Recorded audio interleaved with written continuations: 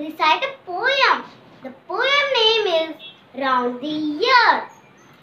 January and February, 1 and 2, cold months for me and you. March and April, 3 and 4, pleasant weather knocks the door.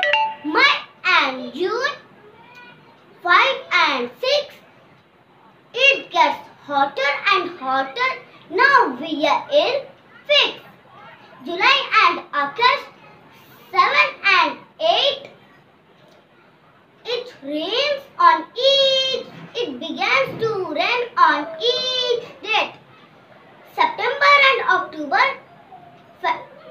9 and 10, festivals for everyone. November and December, 11 and 12, it, it is again a